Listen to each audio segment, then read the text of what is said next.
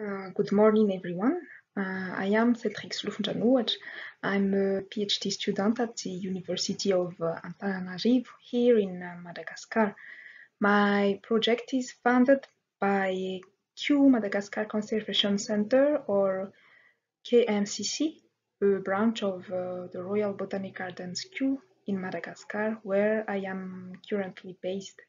I'm co-supervised by Maria Vorontsova, Caroline Lehmann, who is based at the Royal Botanic Garden of uh, Edinburgh, and uh, Prof. Vololoniaina Jeannoda at the University of uh, Antananarivo. And today I am going to talk about uh, results of my project and our recent discovery on grasslands, not wastelands, but the creation of ancient creatures.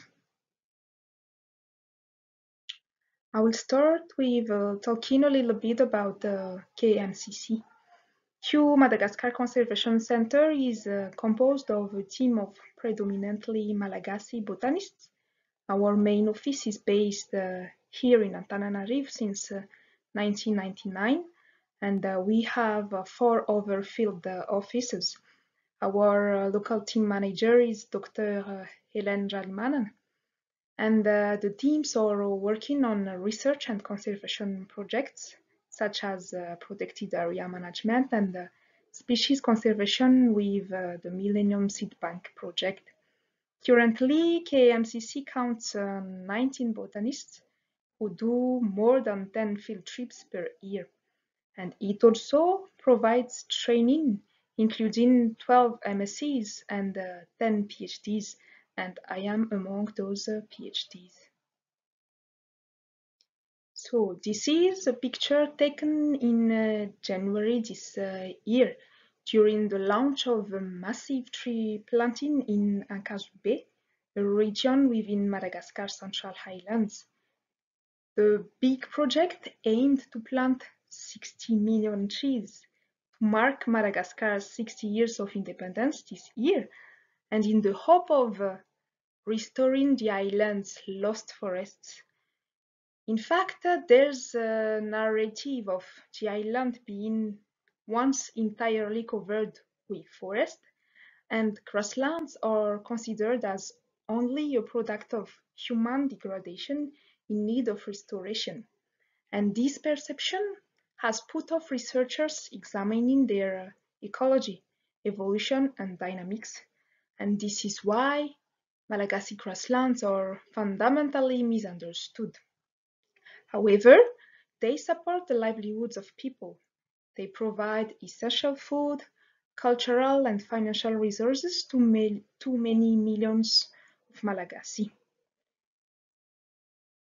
Besides, it's also surprising that within these presumed homogeneous and degraded ecosystems, Recent taxonomic and biodiversity studies by Maria Vorontsova have documented the diverse and ancient grass flora.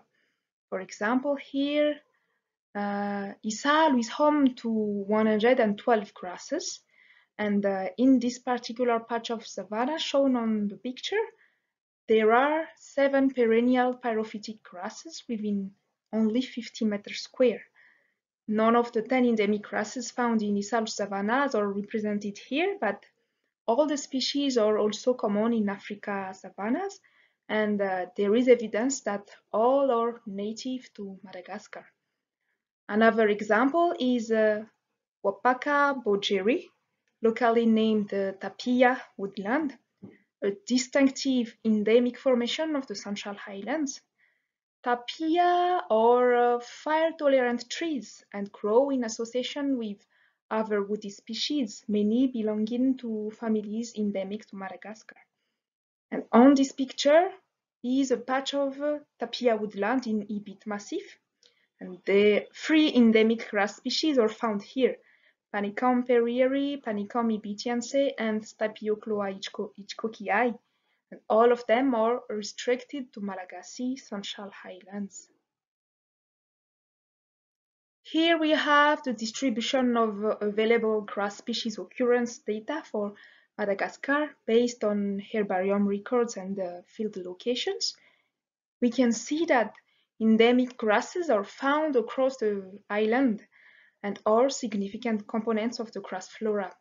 Madagascar grass endemicity is around 40%, uh, which is low compared to dicots, but normal to high for grass of uh, subtropical islands.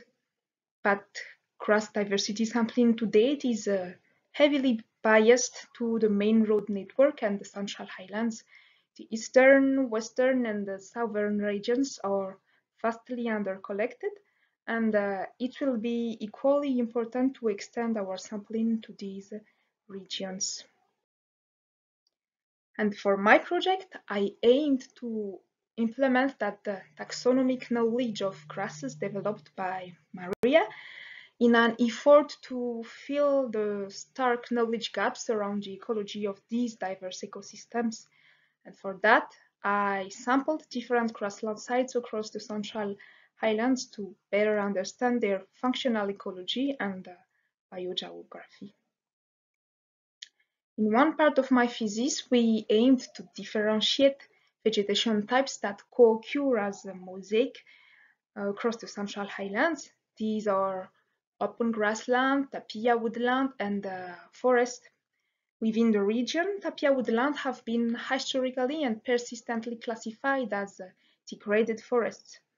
But by looking at the different types of grasses and their functional characteristics, we found that grasslands and tapia woodland are highly similar in grass species composition, and these grasses are characterized by the same functional characteristics such as being tall, growing vertically, and with coriaceous leaves.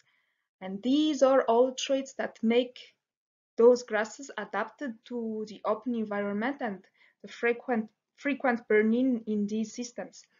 In contrast, forest grass species composition significantly differed from both grassland and woodland, and they are growing laterally with herbaceous leaves and these are also characteristics that allow them to adapt to the low in light environment in uh, forests. From these results, we concluded that tapia woodland is a form of uh, savanna and not forest as have been previously suggested, so we should manage them as such. And these are examples of grasslands landscapes that we can find across the tropics, here in Madagascar, in South Africa, in India, and in Malawi. And uh, one of the arguments for grasslands as human-derived is the pattern observed of forest fragments in the Central Highlands.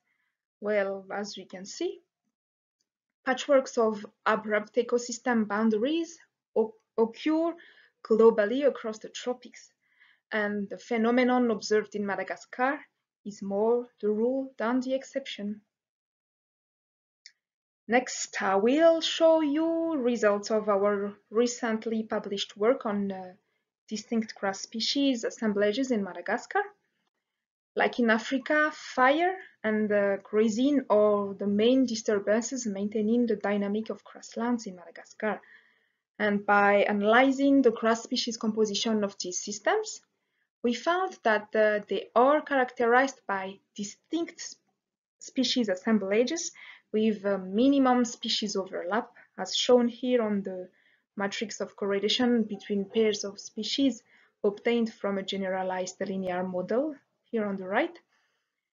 The top triangle of the matrix is composed of uh, grass species highly likely to co-occur with each other and sampled in grazing maintained grasslands. The bottom triangle is composed of species highly unlikely to be found with species in the top triangle and or from fire-maintained grasslands.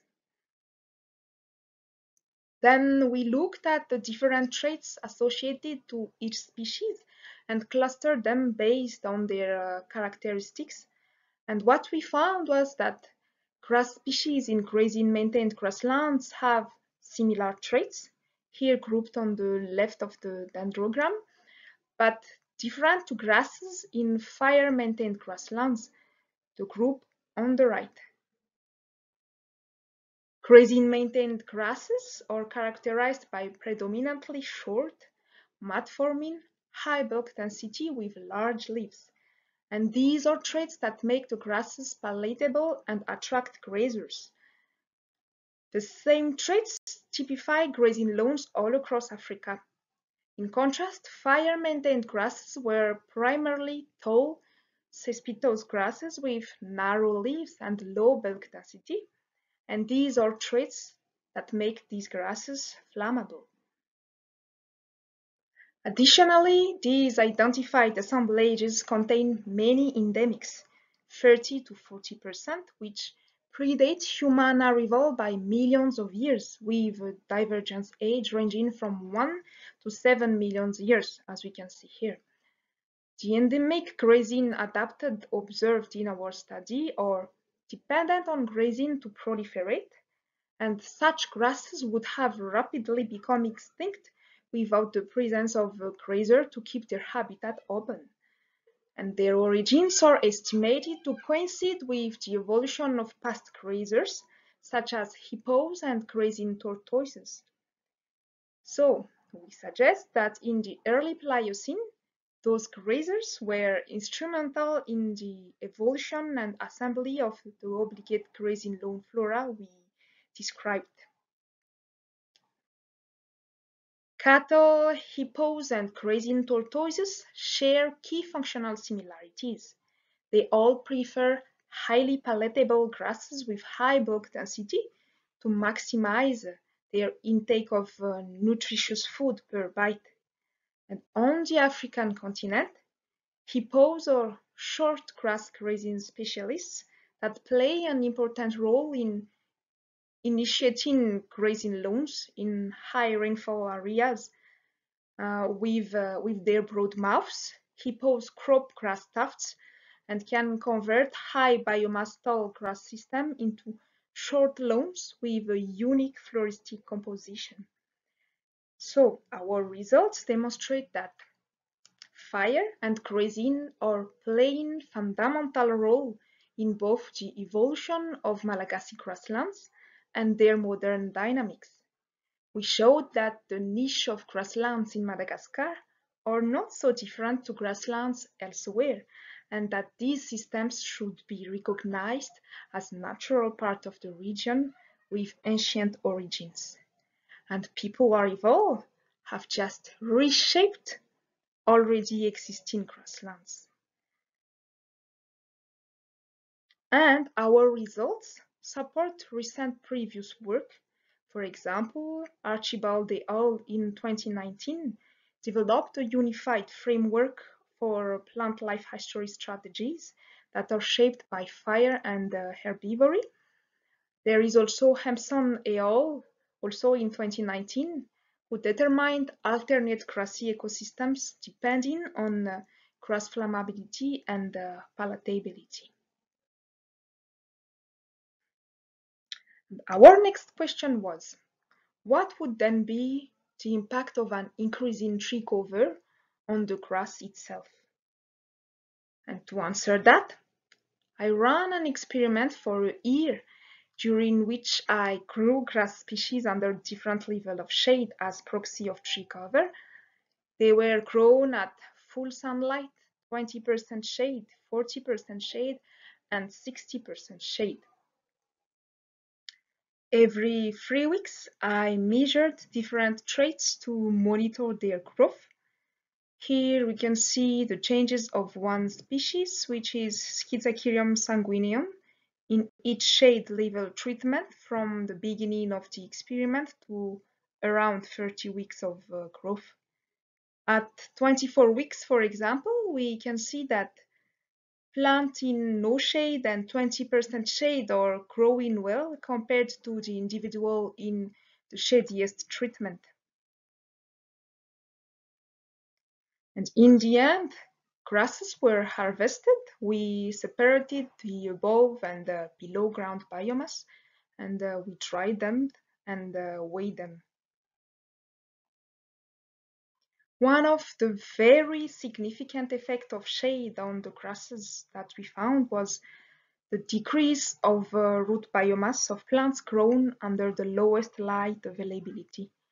Here are pictures showing the differences between root biomass of Andropogon trichozygus grown in 0% shade and 60% uh, shade.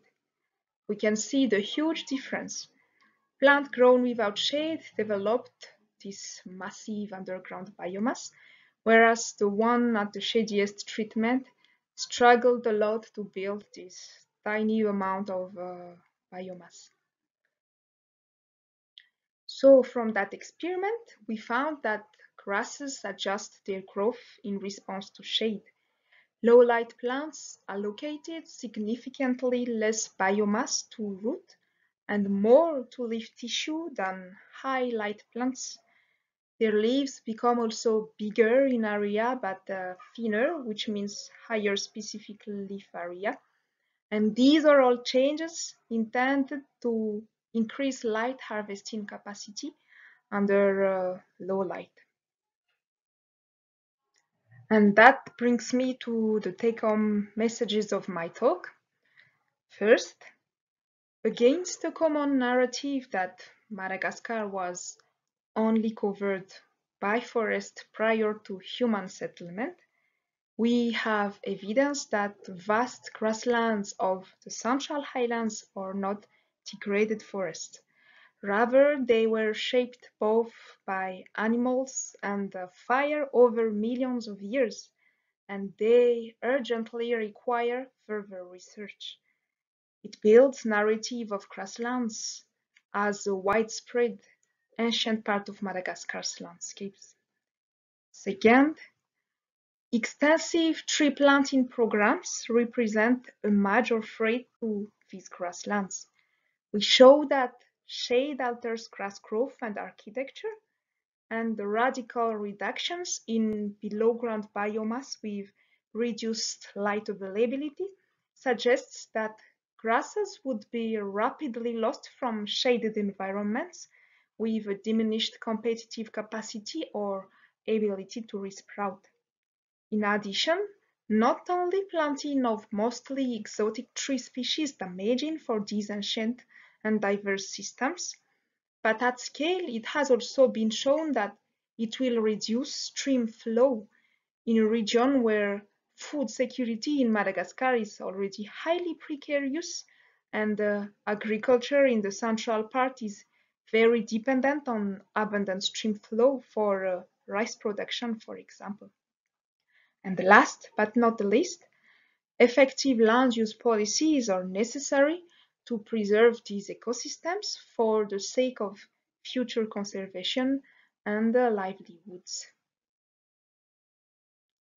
Now I would like to thank the people who made a significant impact on my study, all my three supervisors who are great instructors. I am also thankful for the help everyone in KMCC gave me during all of those years spent with them and my sincere thanks to Stuart Cable for all the support. Thank you for your attention.